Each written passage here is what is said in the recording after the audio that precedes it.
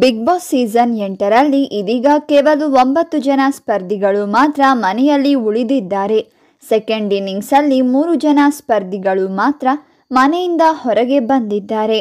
ಇದೀಗ ಮನೆಯಿಂದ ಇನ್ನಿಬ್ಬರು ಸ್ಪರ್ಧಿಗಳು ಹೊರಬರಲಿದ್ದಾರೆ ಎನ್ನುವ ಸುದ್ದಿಗಳು ಕೇಳಿಬರುತ್ತಿವೆ. ಹಾಗಾದರೆ ಏನಿದು ಸುದ್ದಿ? ಯಾರು ಹೊರಬರ್ತಾರೆ ಎಂದು ನೋಡೋಣ. ಬನ್ನಿ, ನೋಡುವ ಮುನ್ನ ನೀವು ಕೂಡ ಬಿಗ್ ಬಾಸ್ ಅಭಿಮಾನಿಯಾಗಿದ್ದರೆ ಈಗಲೇ ವಿಡಿಯೋಗೆ ತಪ್ಪದೇ ಲೈಕ್ ಮಾಡಿ.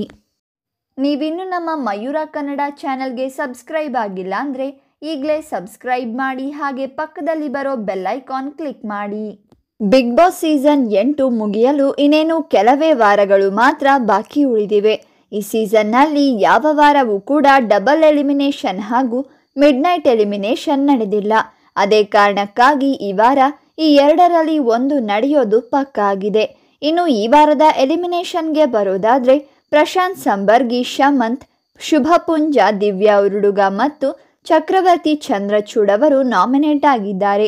ಈ ಎಲ್ಲ ಸ್ಪರ್ಧಿಗಳು ಕೂಡ ಬಹಳ ಸ್ಟ್ರಾಂಗ್ ಸ್ಪರ್ಧಿಗಳಾಗಿದ್ದು, ಯಾರಾದರೂ ಇಬ್ಬರು ಈ ವಾರ ಹೊರಬರುವುದು ಖಚಿತವಾಗಿದೆ. ಶುಭ ಪುಂಜ ಅವರು ಇಲ್ಲಿಯವರೆಗೆ ಯಾವುದೇ ಟಾಸ್ಕ್ಗಳನ್ನು ಉತ್ತಮವಾಗಿ ಆಡಿಲ್ಲ. ಹಾಗೂ ಮನೋರಂಜನೆಯ ವಿಷಯಕ್ಕೆ ಬರೋದಾದರೆ, ಮನೋರಂಜನೆಯು ಅಷ್ಟಕ್ಕಷ್ಟೇ ಅನ್ನೋದು ವೀಕ್ಷಕರ ಅಭಿಪ್ರಾಯವಾಗಿದೆ. ಇನ್ನು ಈ ವಾರ ಬಿಗ್ ಬಾಸ್ ಮನೆಯಲ್ಲಿ ಡಬಲ್ ಎಲಿಮಿನೇಷನ್ ನಡೆಯಲಿದ್ದು ಶುಭ ಪುಂಜ ಮತ್ತು ಮನೆಯಲ್ಲಿ ಅಸಭ್ಯವಾಗಿ ವರ್ತಿ, ವರ್ತಿಸುತ್ತಿರುವ ಚಕ್ರವರ್ತಿ ಚಂದ್ರಚೂಡ್ರವರು ಎಲಿಮಿನೇಷನ್ ಆಗಿದ್ದಾರೆ ಅಂತ ಹೇಳಲಾಗುತ್ತಿದೆ.